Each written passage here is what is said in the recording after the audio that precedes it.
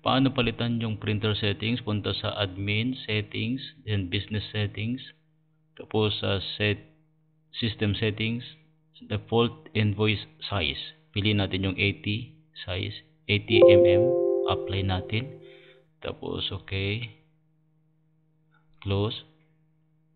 Punta natin yung POS. Then search natin yung uh, transaction. For example, this one. Print. Yes.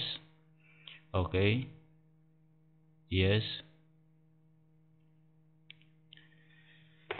Yan, ito yung size ng 80mm na thermal printer. Okay? So, tignan naman natin yung isa, yung mas maliit na thermal printer.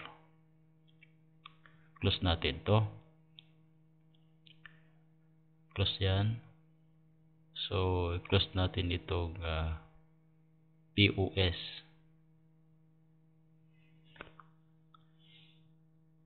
Admin, settings, business settings, system settings, then pili natin yung 56mm. Apply lang natin yan. Okay? Bilisan natin. Tapos POS, search, Okay, print. Testing natin. Yes. Oh, ito yung mas maliit na printer.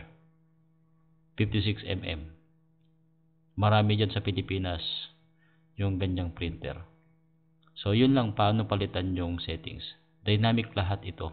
Pwede nyong palitan mula po sa inyo. Okay.